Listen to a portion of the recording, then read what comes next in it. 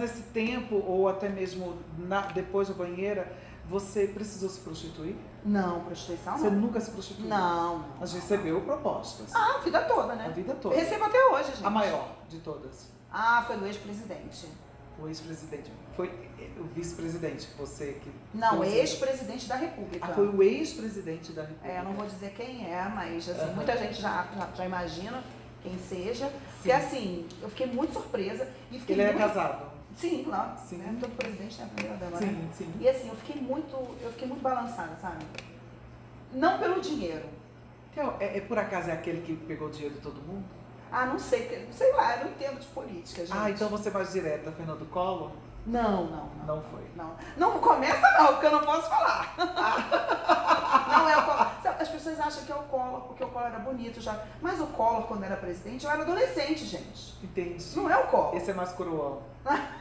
Não né? vou falar. Foi o Itamar Franco ou foi o Fernando Henrique? Não vou falar, gente. Não vou falar. Não vou falar. Não vou falar, gente. Então, como eu Então, queria, assim, não tá no é- livro, gente. Eu queria tanto saber quem. Não tá no livro. não- Porque assim, é, eu fiquei muito tentada, mas você sabe que não foi pelo dinheiro?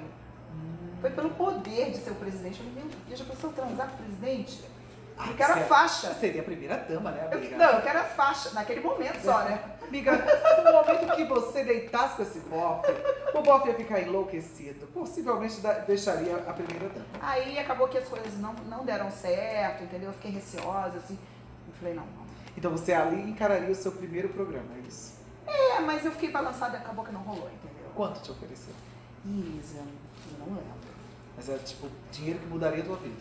Não, mudar não. Mas compraria pelo menos um apartamento? Não, claro que não. Não? Isso é mentira. Você acredita nessas histórias? Então é isso que cada um problema é que a mulherada coisa. mente. Claro que não. Já ofereceram 50 mil, 100 mil, todo... Ah, tá. Eu já, já escutei sabe o que, que eu acho? A pessoa, quando ela é puta, ela é puta.